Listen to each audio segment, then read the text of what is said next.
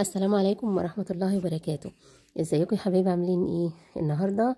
إن شاء الله هنعمل آه، مخلل مشكل كده جميل.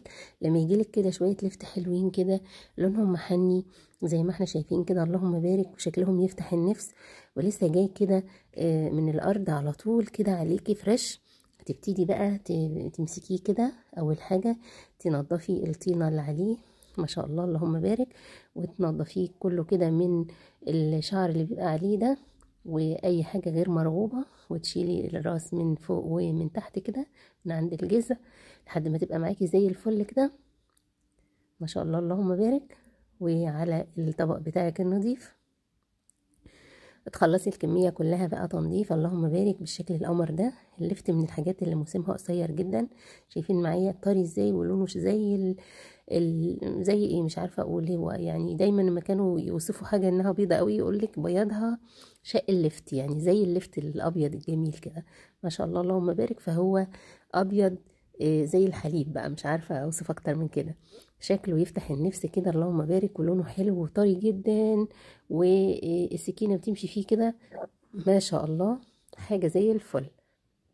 هنبتدي ننضف كل حاجة عليه لحد ما نخلص الكمية كلها. شايفين؟ شايفين حلاوته؟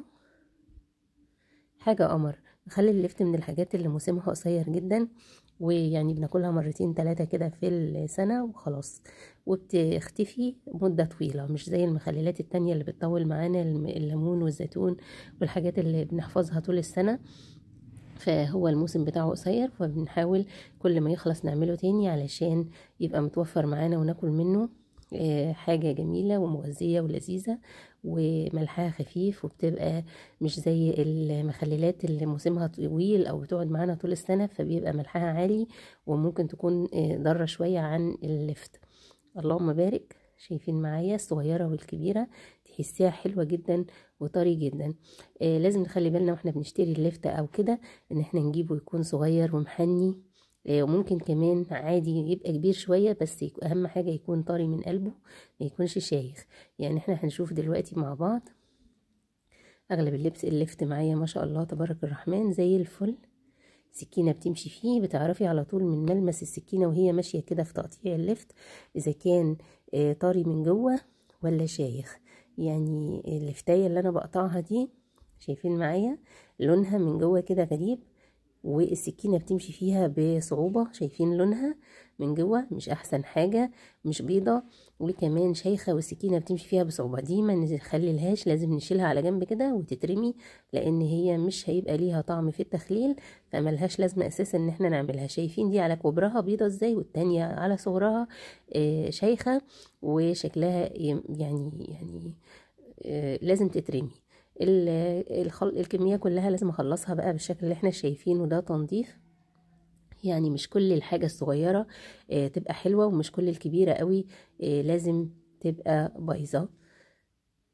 حلوة قوي آه، مخلل اللفت بنعمله دايما مع الحاجات مشكل علشان يديله تست حلو. لازم تدخلي معاه أنواع تانية وهو لوحده كمان طعمه لذيذ ومحبب للكبير والصغير. شايفين اللهم بارك كل ما الاقي واحدة آه، ما بتمشيش فيها السكينه كويس تبقى شايخة ولازم تترمي. شايفين معايا كمان اللهم بارك علشان لسه جاي من الأرض كده فريش الورق بتاعه أخضر منعنع الورق ده لازم يتحشي. بتشيلي الورقة كده من عند العنقود بتاعها وتبتدي تقطعيها وترصيه كده على بعضه زي ورق العنب.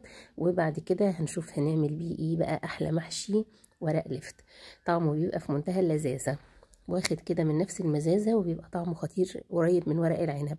اللي غسلت بقى الروز بتاعتي بعد ما نضفتها زي ما إحنا شايفين غسلة خفيفة كده على السريع وهبتدي أجيب بقى القطاعة بتاعتي وهقطعها بشكل كده آه، هقطعها الأول بالسكينة ترانشات زي ما إحنا شايفين.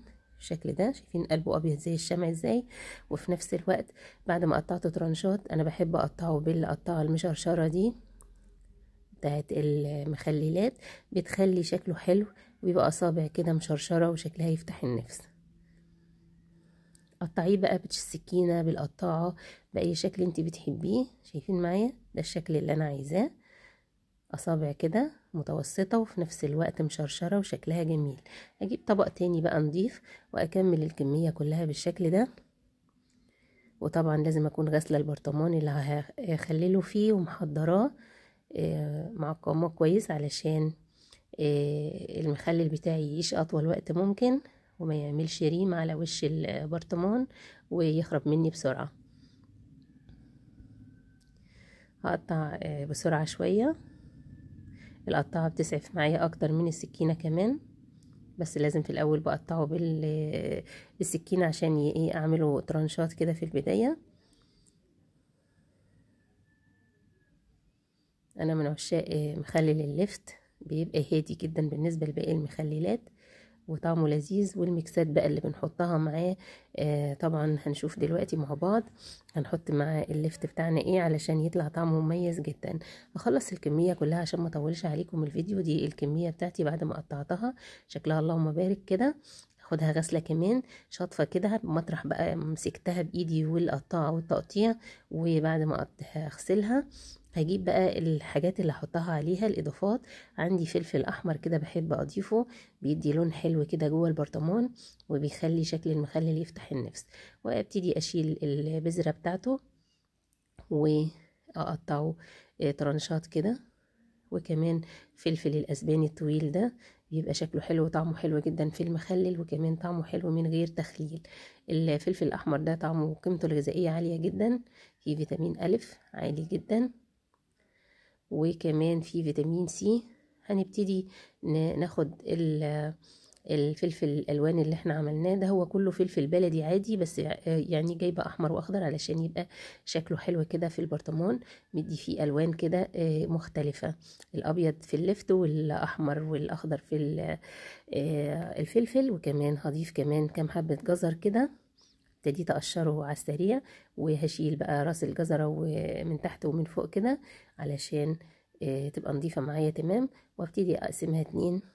وبالقطاعة برضو وهقطعها عشان تبقى تديني برضو الشكل المشرشر زي اللفت على السريع كده هبتدي أقطعهم وهضيفهم معايا على اللفت المخلل اللفت بيستوعب حاجات كتير جدا ممكن تضيفيها عليه. يعني كمان ممكن تضيفي إيه لو عندك قرنبيط هتقطعي كام شوية كده وتحطيهم كام زهرة كده بيبقى طعمه لذيذ جدا. ممكن تضيفي ليه بصل إيه ممكن تضيفي ليه العروق بتاعة الكرنب بيبقى طعمه حلو جدا. شايفين اللهم بارك الألوان بقت شكلها حلو إزاي؟ كتري وقللي بقى في المكونات على حسب ذوقك وحسب ما بتحبي بتحبي الجزر أكتر زودي. بتحبي اللفتة أكتر بتحبي الفلفل والشطة حسب ذوقك وحسب ما بتفضلي شايفين معايا الألوان شكلها تحفة إزاي.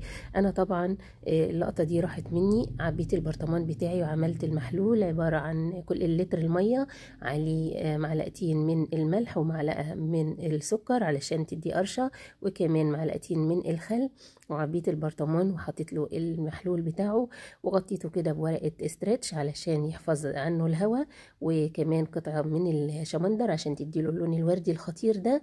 وكده عملنا مخلل اللفت الخطير يا ريت تجربوه ما تنسوش ال like وال share.